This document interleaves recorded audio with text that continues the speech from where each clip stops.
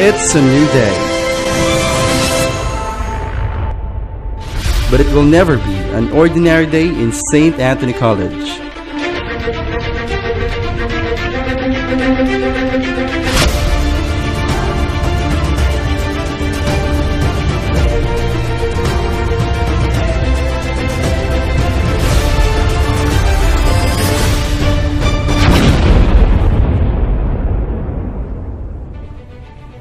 Everyone has a story to tell.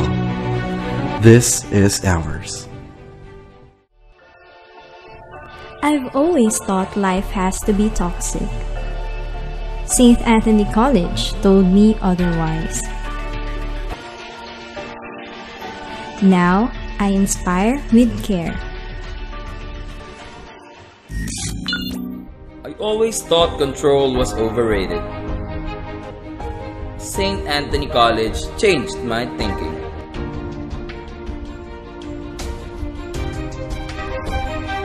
Now, I have the power to create. I thought I had all the answers. St. Anthony College taught me more.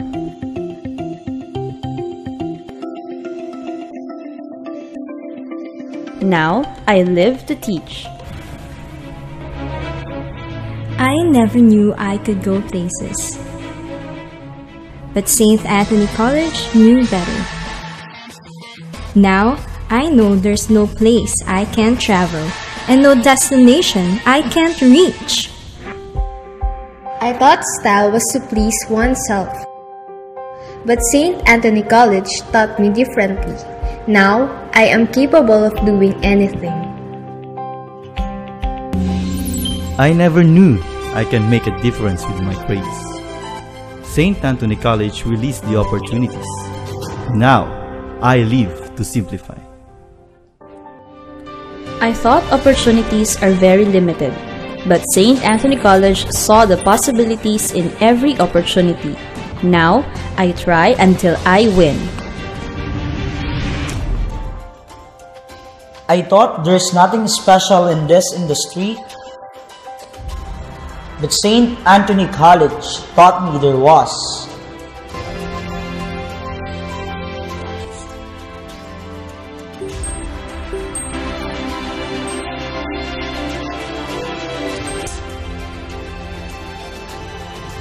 Now I can operate.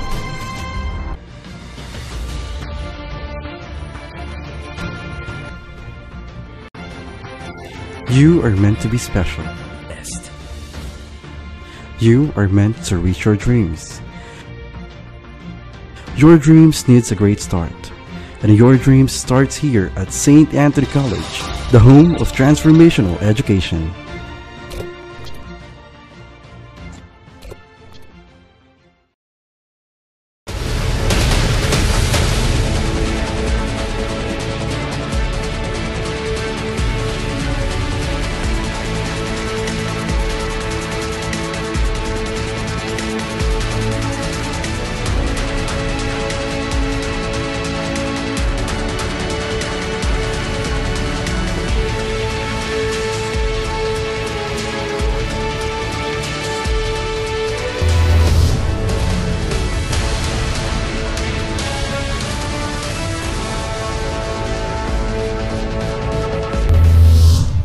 Magandang gabi, Oriental Mindoro. Mula sa bulwagang pambalitaan ng Tamaraw Vision Network, ako po si Morena Lim Bautista para sa TVNet Weekend Report.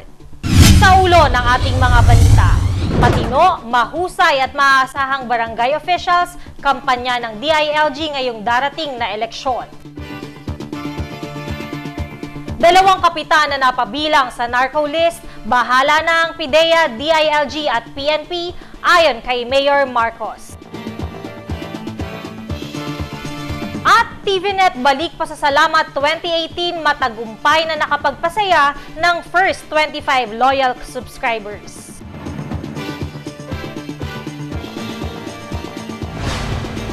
Sa detalye ng ating mga balita, mahigit isang buwan bago magsimula ang pasukan, nangangamba ang ilang mamimili sa pagtataas ng ilang pangunahing school supplies o mga kagamitan sa eskwela. Ang mga paper products tulad ng pad paper at notebook na siyang pangunahing kailangan ng isang estudyante ay magtataas presyo. Ayon sa Department of Trade and Industry o DTI, ang pagtaas ng presyo ng mga nasabing kagamitan ay dahil sa pagtaas ng raw materials na galing sa ibang bansa tulad ng China na siyang ginagamit sa paggawa ng mga ito. Ang 80 pahina ng notebook ay inaasahang magtataas ng piso hanggang 3 piso depende sa tatak ng notebook. Sa pinakahuling inilabas ng SRP, 12.20 pesos ang pinakamura at 34 pesos ang pinakamahal. Grade pad paper magtataas ng 50 centavos hanggang 3 pesos 25 centavos. Piso hanggang 5 piso naman sa intermediate pad. Ayon sa DTI Oriental Mindoro, wala pang panibagong suggested retail price na inilalabas ang DTI ukol sa school supplies, ngunit inaasahan nila na maglalabas na ang ahensya bago matapos ang Mayo.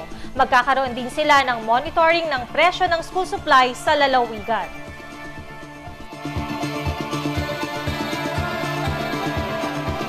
Sa ibang balita, mahigit 30 Mendoreño ang nagsadya at pumila sa Oriental Mindoro Provincial Hospital para maging benepisyaryo ng Prothesis Mission ng Human Engineers Incorporated, California, ikasyam ng Mayo. Dumating sa lalawigan si Human Engineer Michael Joseph Norel kasama si Occidental Mindoro Provincial Health Officer 2, Dr. Ner Agoncillo. Sa Occidental Mindoro, unang dinala ang proyekto at sa koordinasyon ni OMPH Hospital Chief at Provincial Health Officer 1, Dr. Murphy Marasigan, mapalad na naibahagi ng Occidental Mindoro ang biyayang ito sa mga taga-Oriental Mindoro. Actually, mga 10 years ago na sa Occidental Mindoro, muna meron medical mission na parang marami sila, iba-iba yung specialidad. Tapos ay yung sumunod na, uh, bali nuwalay na siya ng one medical. Prosti actually, ito yung prosthesis uh, mission. So, ang nangyari doon, uh, nagsimula kami na unti-unti kasi marami na accident eh. Then, uh, nagsama siya ng mga teams ito yung non-profit yan eh, non-profit na organization, Human Engineers Incorporated ng California. Then pagdala niya nung ano pangalan to, nung uh, mga teams niya, every year nagdadala na. Then dala na rin pati yung mga component list yung mga gamit kasi yan ay nasisira, nagagato, nag-a-adjust, kinakailangan palitan. So yung every year na ganun. So ang ginawa namin, i-share namin dito sa Oriental Mindoro para kasi sa tingin namin mas marami dito.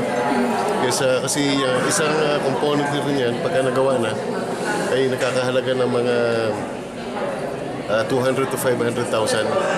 Oh, kasi may mga stainless, mayroong mga titanium, depende klase. Depende sa pangailangan ng uh, ano pa na to, ng uh, may kapansanan. Kailangan dito meron tayong listahan ng uh, listahan ng mga may kapansanan uh, at meron din mga tao na talaga assign. Isa-isang sumailalim sa assessment ang mga posibleng benepisyaryo upang masuri ang kanilang kondisyon at mabatid ang uri ng prosthetic legs na nararapat para sa kanila. Ganun pa man, ilan sa mga ito ang kailangan munang sumailalim sa therapy upang maisaayos ang kondisyon ng buto. Di ba yung mga kapansanan na ganyan, kung hindi mo maayos yan, yan ay hindi magiging productive. Magiging upo na lang sila, paano yung pamilya nila na pakakainin. Gaya ng mga bata na naputulan ng paa, hindi makakapasok. Pagkagawa ng ganito, ay ina-assess muna yan eh. Titignan kung ano yung pangangailangan. Kung, actually, wala naman kami dala ngayon eh. Si Engineer Norel. Ako, tinitingnan niya muna kung ano yung pangangailangan. Then, magdadala ng mga gamit sa fit Matapos ang assessment sa pagbalik naman nila sa lalawigan, may kasama ng makakatulong si Engineer Norel sa pagsusukat ng prosthetic legs sa mga benepisyaryo at kasunod na nito ang pagkakaloob sa kanila ng bago at libreng artificial legs. Samantala, labis naman ang pasasalamat ni Dr. Marasigan sa naturang prosthesis mission na magiging malaking tulong sa mga kababayang nagdanais pa ring makalakad. Kasama niyang sumalubong kina Engineer Norel at Dr. Agoncillo si Provincial Health Officer 2, Dr. Normando Legaspi, Dr. Elsa Alberto, Dr. Linda Umali at iba pa. Katuwang sa pagsasakatuparan ng proyekto ang Philippine Academy of Family Physicians, Oriental Mindoro Chapter, Oriental Mindoro Medical Society at Diabetes Philippines, Oriental Mindoro Chapter.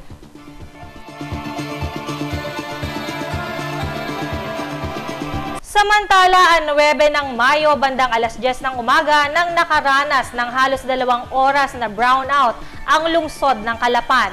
Ayon sa Ormeco, ito ay dahil sa nasirang unit ng Power 1. Kinagabihan ng araw pa rin ng Anuebe, nakaranas rin ng brownout at pagbaba ng supply ng kuryente ang ilan pang mga bayan na nasa sakupan ng South Grid.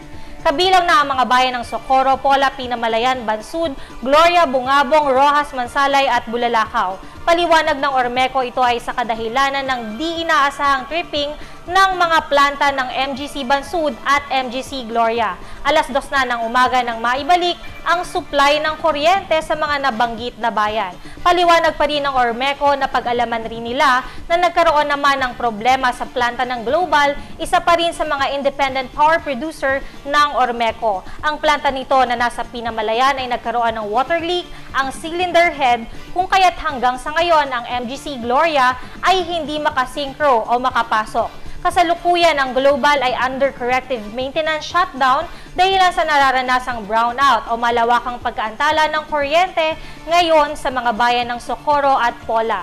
Samantala, adjust pa rin ng Mayo, naglabas ng public advisory ang Ormeco kaugnay sa emergency power interruption sa bayan ng Puerto Galera mula alauna ng tanghali hanggang alas 5 ng hapon kung saan ay apektado ang feeder R9 na sumasakop mula Minolo Substation hanggang Santo Niño at Palangan hanggang Sabang. Ito ay dahilan nila sa paglilipat ng recloser ng feeder R9 mula Mindoro Grid Corporation o MGC patungong Minolo Substation bilang paghahanda sa energization ng NAPCOR 69 kV transmission line sa darating na May 15, 2018. Magbabalik po ang TVNet Weekend Report. Bakit ka kasi kumabit? Alam mong di tama yan, di ba? Huwag ka nang gumamit ng pag-aari ng iba. Nakakaperwisyo ka sa mga legal na cable. Lumalabo ang signal nila. Mahiya ka naman, hoy. Illegal na cable mo, putulin na. Ano, gusto mo bang umabot pa sa kulungan? Umiwas ka na sa gulo tsaka skandalo. Huwag maging kabit. Magpakabit ng tama ngayon. Supported by PCT. Good news po para sa lahat ng subscribers ng Cable TV at Cable Internet.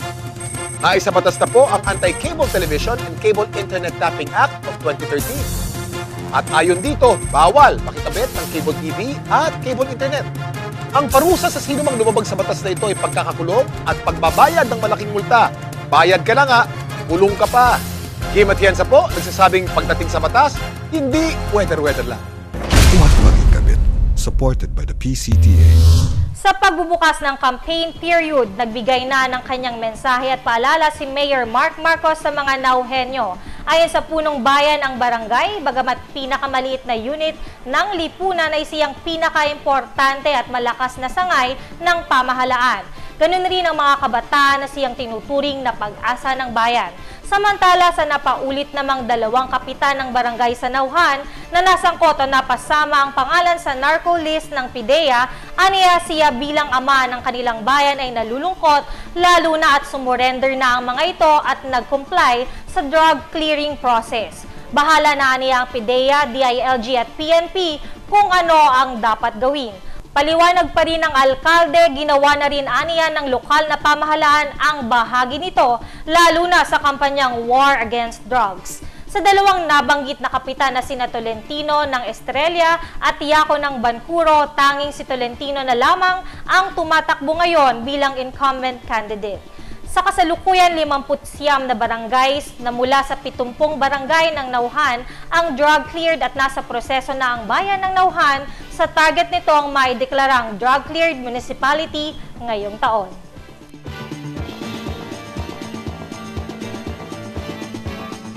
Samantala, idinaos ang sending off ceremony ng 260 kliyente ng Oriental Mindoro Rehabilitation and Recovery Center. Ikasampu ng Mayo, taong kasalukuyan sa Oriental Mindoro National High School Gym.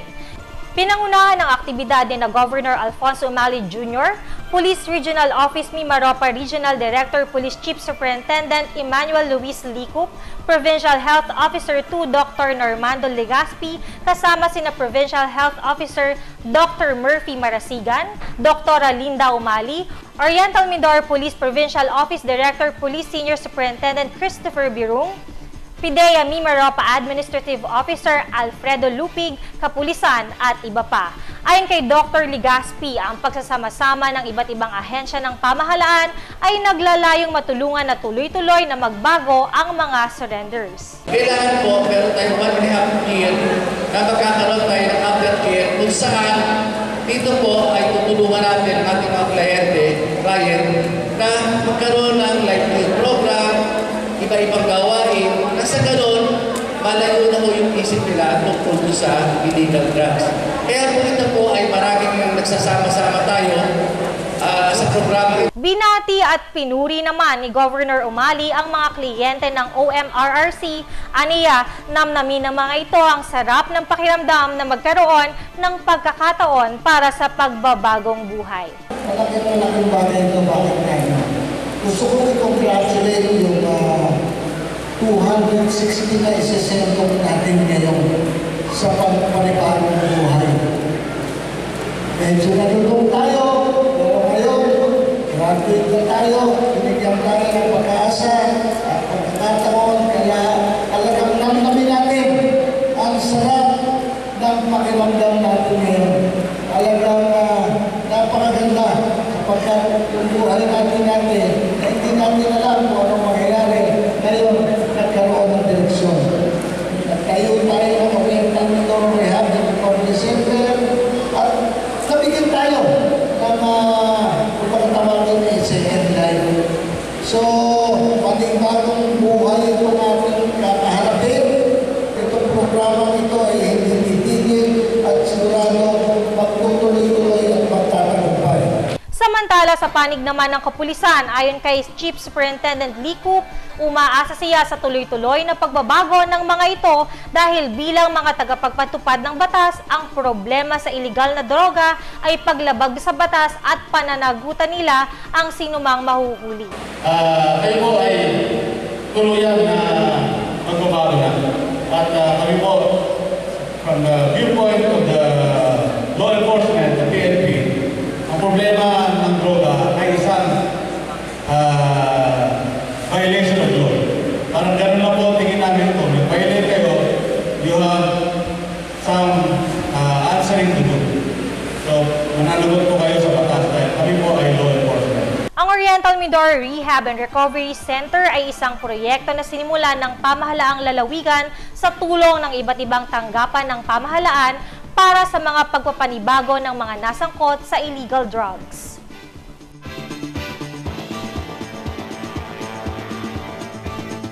Antabayanan ng iba pang mga balita makalipas lamang ilang paalala.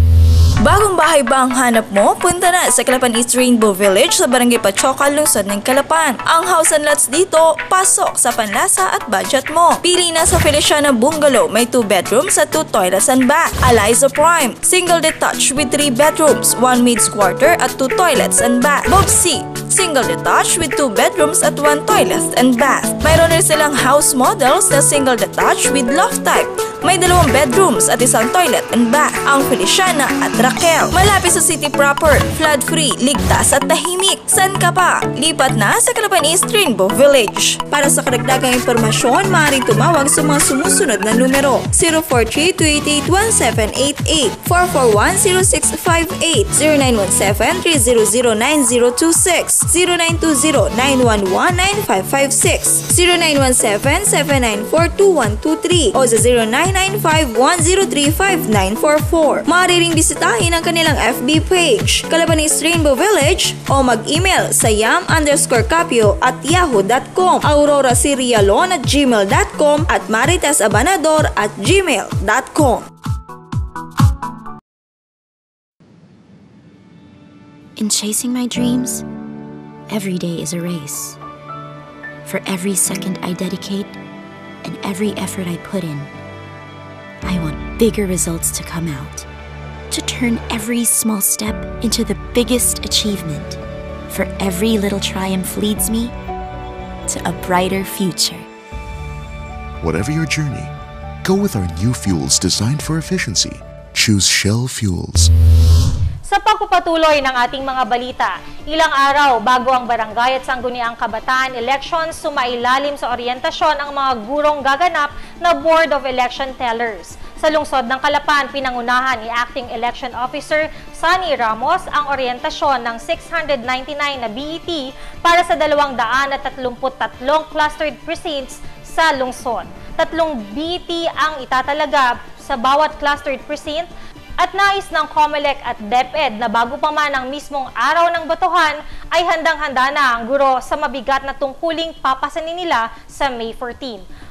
Punto por puntong tinalakay ni Election Officer Ramos ang nilalaman ng booklet na General Instructions for the members of the Electoral Boards and Barangay Board of Canvassers in connection with the conduct of the October 23, 2017 synchronized barangay and sangguniang kabataan elections. Kabilang sa binigyang diin ang appreciation ng mga balota kung saan ayon sa SEC 52 bawat balota ay kinukonsiderang valid maliban na lamang kung may malinaw at matibay na rason para ma-reject ito.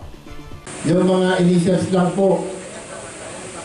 So, ang sinasabi, any vote containing initials only or which is eligible or which does not sufficiently identify. Ang sinasabi, does not sufficiently identify.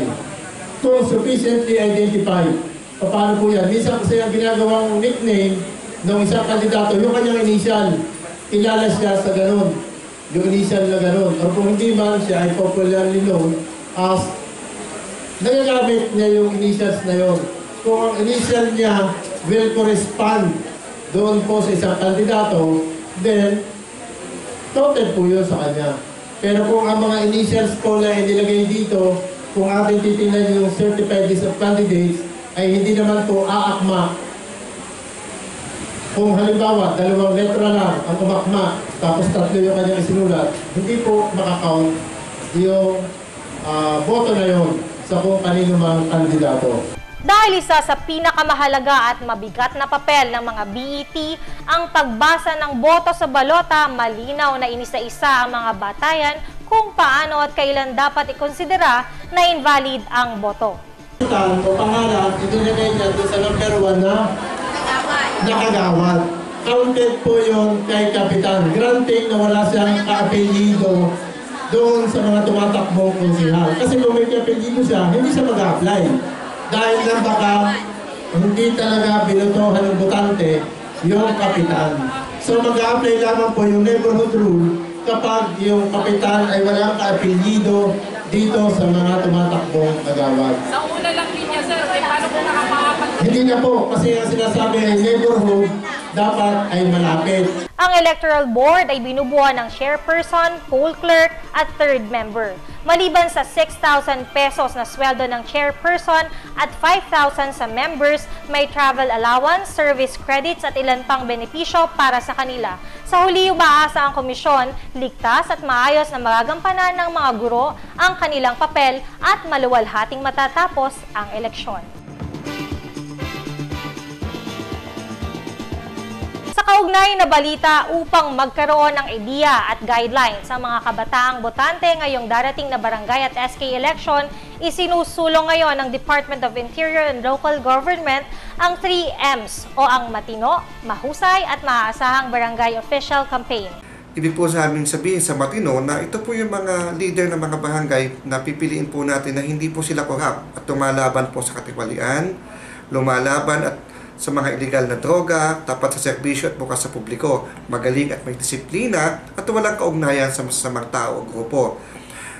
Patungkol naman po sa mahusay na katangian ng isang namumuno, ay dapat po ito po ay isang kandidato na kung saan may platapormang pangkaunlangan at pangkabuhayan at pangkapayapaan, huwaran at modelo ng kanyang mga kabarangay, sumusunod sa mga alituntunin ng pamahalan at ng komunidad, maayos makitungo sa mga kabarangay, at may patas na pagtingin sa iba't ibang problema sa barangay. Sa mga asahan naman po, ito po yung mga katangian ng isang leader o kandidato na dapat po sana nating piliin sa darating na eleksyon. Ito po yung mga kandidatong may maalam at may kakayahan sa pagpaplano, palistong tumutulong sa panahon ng sakuna, nagmamalasakit sa kapwa, madaling malapitan sa oras sa pangangailangan, at subok sa pagtulong sa pagpanatili ng kapayapaan at kaayusan. Yun po yung tatlong katangian na hinahanap po ng aming opisina na sana po ay makita rin po ng ating mga kababayan at sana po ito ang kanilang piliin sa darating na barangay and SK election. Dagdag pa ni PD Olave, kinakailangang maging mapagmatsyag ang mga kabataang botante kung sino-sinong mga kandidato ang may magandang reputasyon at naiambag sa kanilang barangay upang maging produktibo rin ang mga ito sa oras na maihalal bilang public servant sa kanilang barangay. Samantala dahil sa lunes na ang barangay at SK election, inaanyayahan ni Olave ang mga kabataang botante na bumoto at makiisa sa eleksyon. Ito nila ang kanilang pagkakataon upang marinig ang kanilang boses at magkaroon sila ng partisipasyon sa ikaayos ng kanilang komunidad. Karapatan ng mga kabataan na mahinig ang kanilang boses, ito na pong pagkakataon nila. Ano po, kailangan pong lumabas kayo. Makilahok po kayo sa gagawing boses ng kabataan sa Mayo 14. Kailangan niyo pong lumabas, makilahok po kayo sa boto ng kabataan sapagkat ito po ang pagkakataon ninyong mahinig ang boses ng kabataan sa ating barangay sapagkat mga nagdaang ilang ta- mga taon na wala po tayong boses sa barangay. Ito po ang pagkakataon ninyo mga kabataan na mahinig muli ang boses ng kabataan para po kayo po mismo makarating sa inyong mga nasasakupan sa inyong mga kabarangay na ang pangangailangan at ang misyon ng kabataan ay ito na. Iba pang mga balita sa aming pagbabalik. This feeling, it's so, so cool. I'm just here chilling, there's no place I'd rather be. I know this feeling, I feel it too. Like I just wanna jump up, dance and sing with you. You know it's right when it feels this good, and you don't want it to end. Let's get moving, let's get dancing, no the show on. Come on. Can't get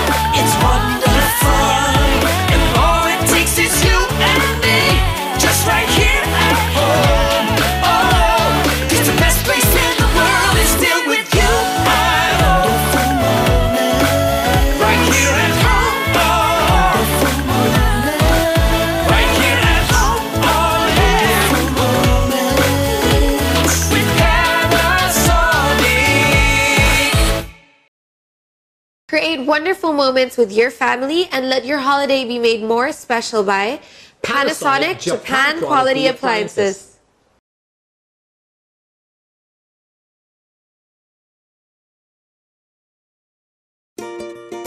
My Sophia really loves summertime, but the heat can get unbearable for her.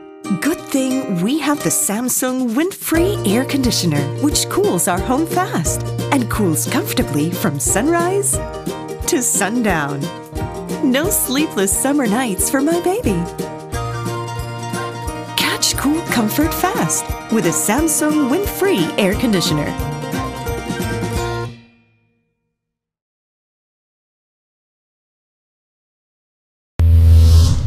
Kaugnay sa pagdiriwang ng ating ikidalawamputlimang taong anibersaryo, inilunsad ng Tamaro Vision Network Incorporated ang Balik Pasasalamat 2018 kung saan ay binisita ng TVNet family ang naunang 25 subscribers na nakasama natin sa looban ng 25 taon.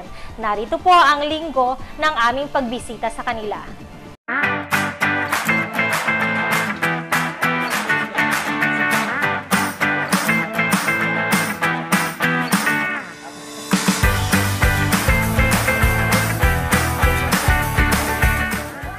happy 25th anniversary ng TVNet.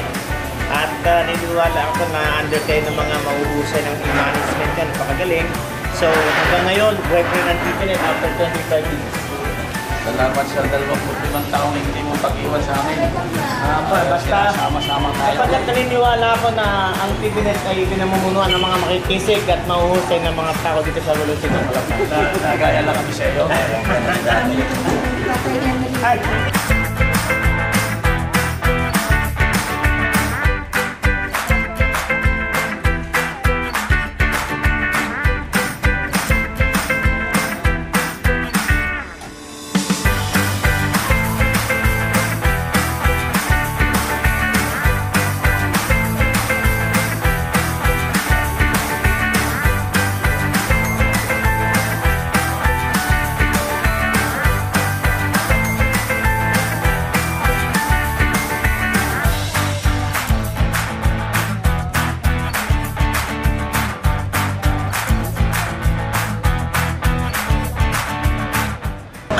wala namang magandang subscription pa eh. Sa iba hindi ari eh. Eh, ang problema kasi sa iba, ang connection nila napuputol. Dito, ang connection nila hindi. Ang mama siguro sa loob ng 25 years, ang connection nila nagkakaproblema ng dalawang beses pa lang ata, bumagyo pa. Pero yung rektahan po na, wala. Tsaka mabilis naman na ano, usually malimit may mga nagsasaksak ng mga ano sa nagagawa naman ng mga parang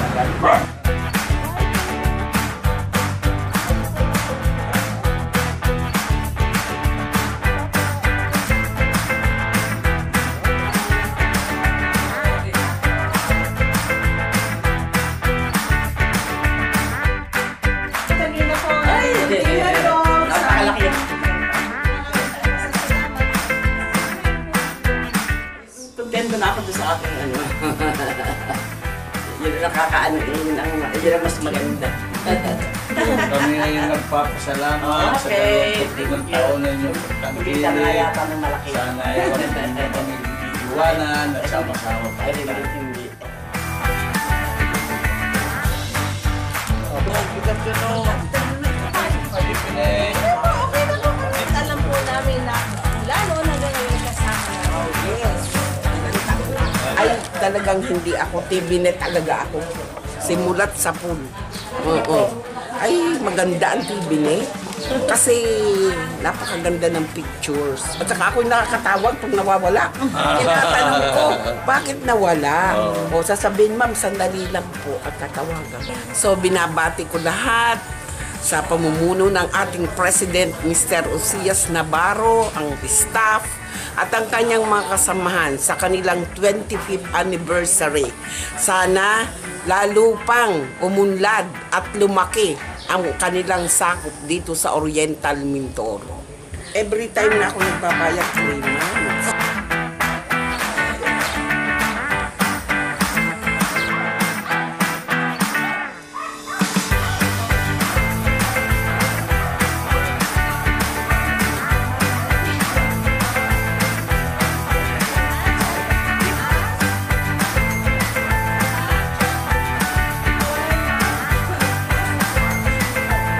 Salamat sa inyo, Jake, paring Henry, Masay.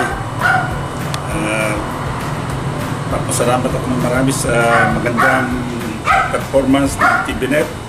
Kaya ako ay nakatagal sa loob ng 25 years na pinapatronize ko ang television network. Maraming salamat sa inyong pag-alaala.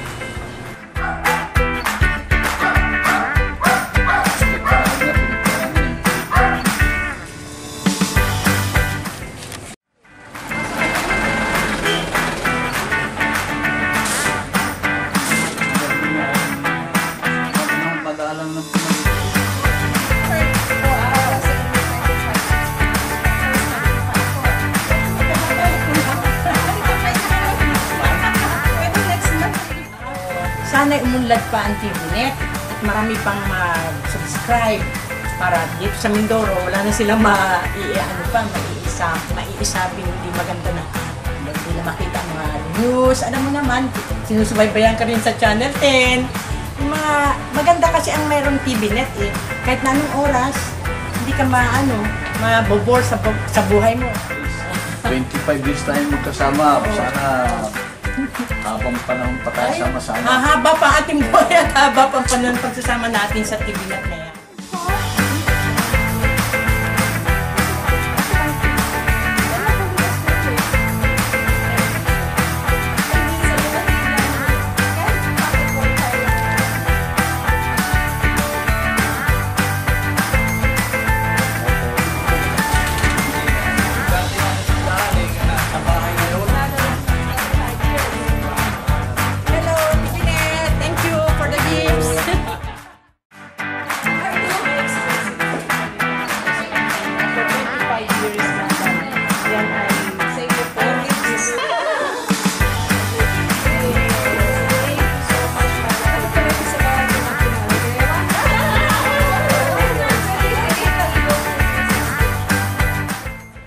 sa lahat ng TVNet family, talagang nagulat ako.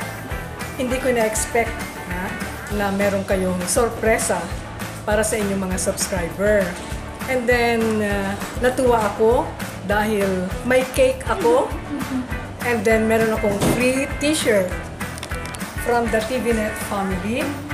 At ang pinakamahalaga sa lahat, at talagang hindi ko na-expect, meron akong 2 million pesos. Cash uh, check ha, from all the TVNet family. And then, I'm also happy dahil uh, maraming channels na ang TVNet ngayon. And then, talagang nakaka-relax, nakakawala ng stress ang panunood sa iba't ibang mga channels. Marami.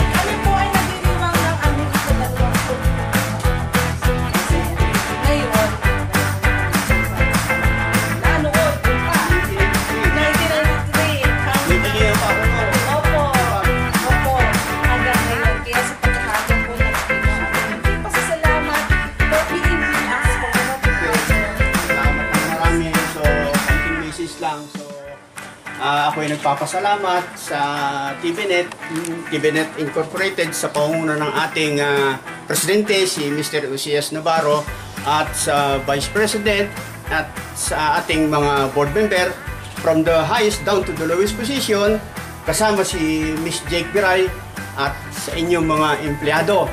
So, napakalaki na ang ah, pinagbago ng ah, TVNet dahil nadagdagan ang mga mga palabas sa TV, luminaw. Hindi katulad ng una na antena sa bubong, pag minamalas-malas ka ay mababagsak ka ng antena, ang bubong mo bubutas, lalo't pag dumaan ng bagyo. At labing tatlong channel lang ang mapapanood, di ba? Hindi katulad na ngayon na halos ay kulang-kulang isang daan channel na mapapanood. At nariyan ang mga sports, ah, HBO, mga foreign movies, Discovery, at marami pang iba. At nadagdagan pa nga ng, ano, ng local news na pinunahan mo ni Jake Biray. So, marami kaming natutunan, marami kaming nalalaman sa paligid ng lungsod ng Kalaban, maging sa labas ng lungsod ng Kalaban. So, yun.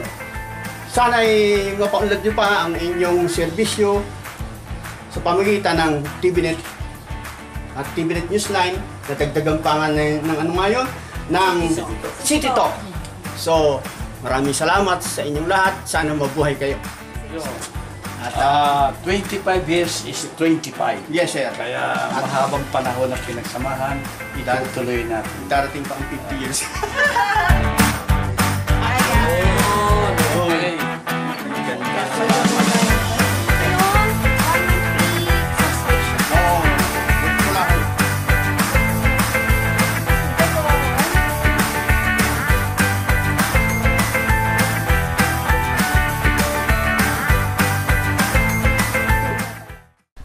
valid subscribers, try a different kind of internet gamit lamang ang inyong cable TV. Kung paano, narito po. Get connected now at our new upgraded internet packages at affordable prices. 2 MB, 1,299 per month. Fast and reliable internet connection. No phone line needed. No antenna. Instant log on. Unlimited, unlimited data usage. Data usage. Unlimited data usage. Plus, you can enjoy over 80 power pack cable TV channels with superb quality signal. Hurry! Apply now at TVNet Office, Unit D, GLC Building, Juan Luna Street, San Vicente North, Calapan City. With telephone numbers 043-288-4240 or 441-3182. So what are you waiting for? Get, connected, connected now. now.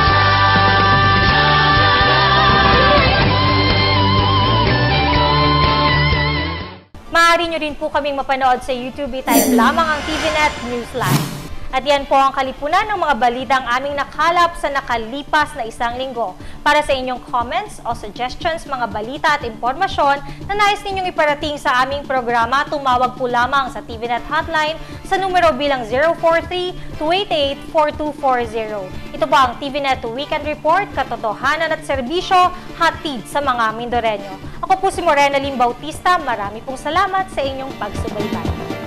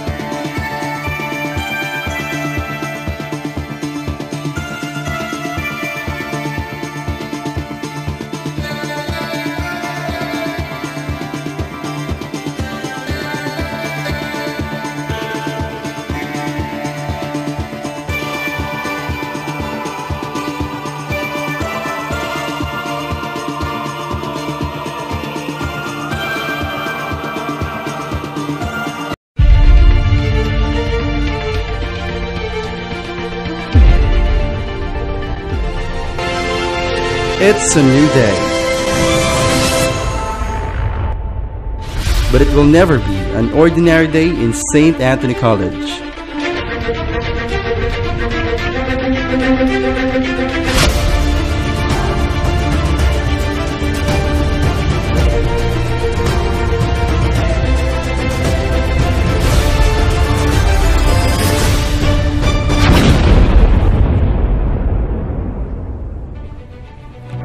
Everyone has a story to tell.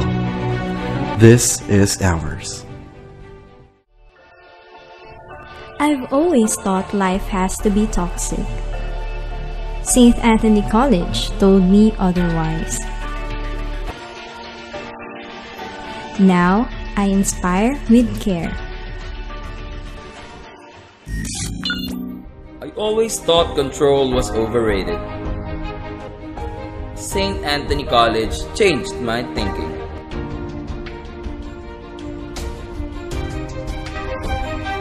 Now, I have the power to create. I thought I had all the answers. St. Anthony College taught me more.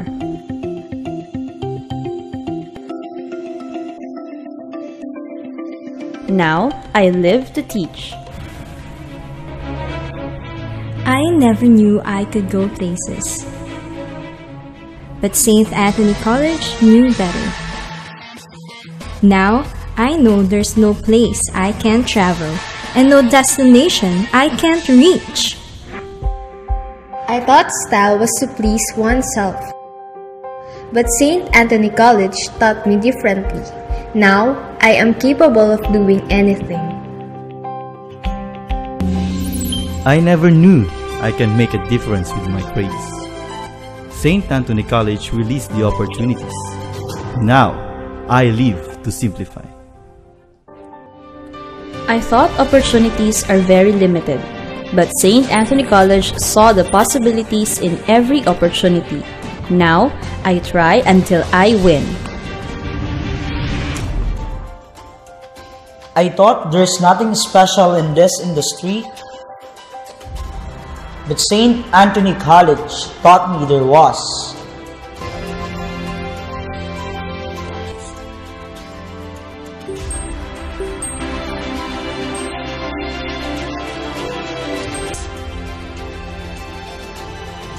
Now I can operate.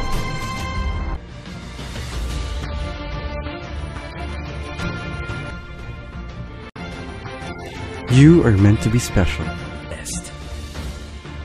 You are meant to reach your dreams. Your dreams needs a great start. And your dreams starts here at St. Anthony College, the home of transformational education.